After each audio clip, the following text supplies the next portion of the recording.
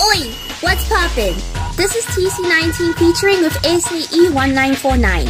You are all invited to the Dance Dance Revolution Extreme Tournament that will take place in Cape Town from 14 till 15 July at the Wonderland Arcade in N1 City Mall.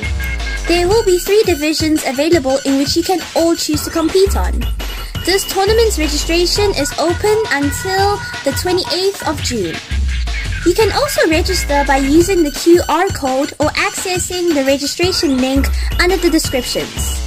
For any queries on any concern, make use of our contact details as well, in which you can also find those information under the description below this video, and we will kindly reach out to you. Remember to not forget that the most important lesson is to have fun throughout your tourney experience. Take care everyone and see you all in July.